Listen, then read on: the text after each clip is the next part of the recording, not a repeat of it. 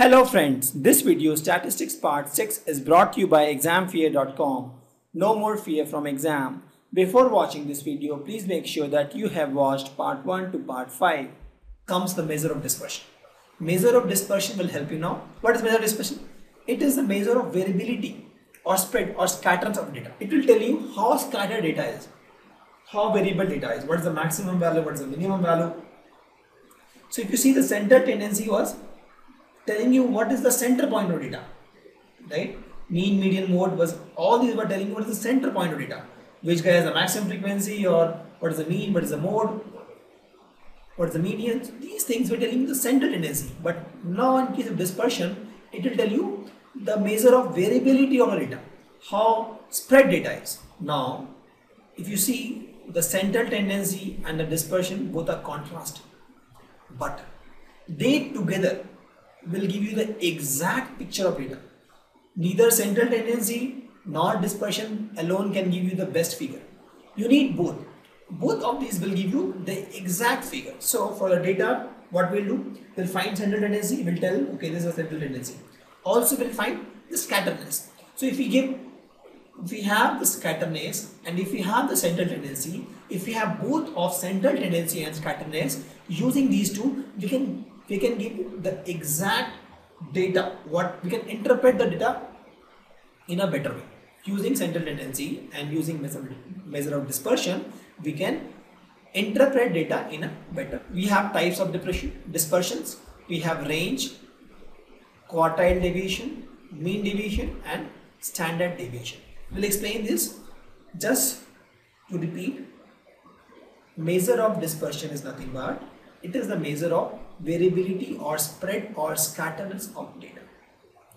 It is contrast, it is exactly contrast, it contrasts with the central tendency, but central tendency and measure of dispersion, you combine both these two, it gives a better idea about the data.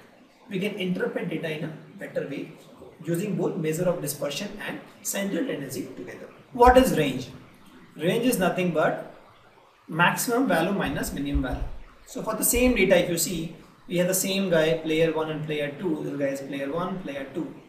Now if you see, the range for player A will come out to be 52 is the maximum value, 48 is the minimum value, 52 minus 48, that is 4. Similarly, the range for player B will come out to be 100 minus 0, that is 100. So with only with this data we can't tell anything. So if, if I am told that range of player A is 4 and range of player B is 50, I can't tell much. But the only thing I can tell is that this guy is consistent this guy is not consistent. But I can't tell whether it is good or bad. So if you have this data also that the maximum mean is 50, median is 50, mode is 50 and range here is 4 and here range is equal to 4. So if you add this data also, with this data I can get a clearer picture. So if I am told that if I am not having this data, this is hidden from me, and if I am told that mean, median, mode are 50 and range is 100 for this player A and for player B and for player A the range is 4, mean, median, mode is 50, I can tell that player A is better because here this guy is more consistent and the runs are same. Correct? So only with this measure of dispersion that is only with range it doesn't give the clear picture but range with mean median mode it gives a clearer picture. Correct? Now we'll take quartile deviation. It is based on the lower quartile and the upper quartile.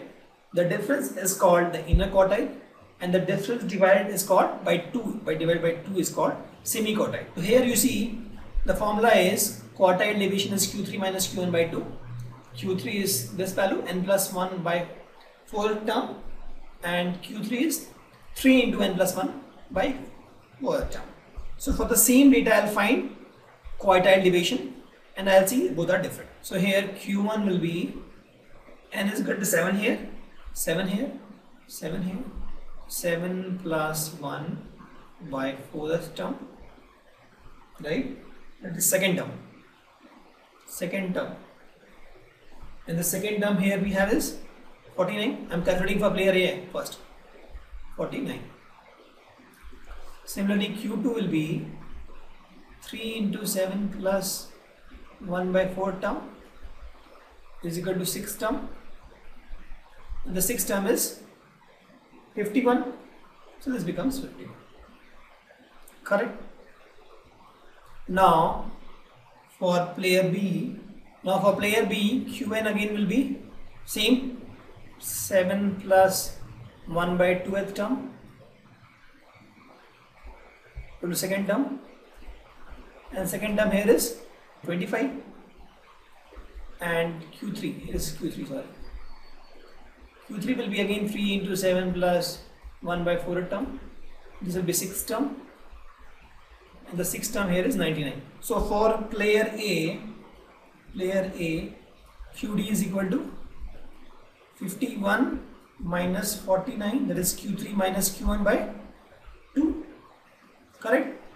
And that value is 2 by 2 that is 1 for player b qd is nothing but 99 minus 25 by 2 that is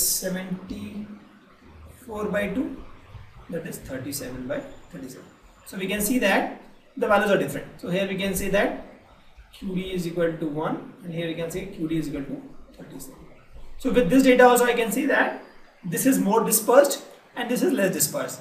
That means this guy the first guy is more consistent player is more consistent and player B is not consistent. So so QD is quartile deviation is also similar to range, but the advantage here it ignores the extreme values. For example, these values are ignored here. If you see right, so the extreme few values are ignored in the quartile deviation. It is better than the in some cases. Correct? Thank you.